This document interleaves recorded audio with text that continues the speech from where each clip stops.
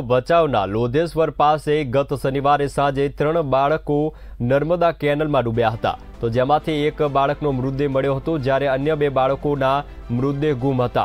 ત્યારે તંત્ર દ્વારા કેનાલને ખાલી કરાવી ભારે જહેમત બાદ અન્ય બે બાળકોના મૃતદેહને પણ શોધી કાઢવામાં આવ્યા છે. એનડીઆરએફ ટીમ, કચ્છ કલેક્ટર તેમજ ભચાઉ એસડીએમ પણ ઉપસ્થિત રહ્યા.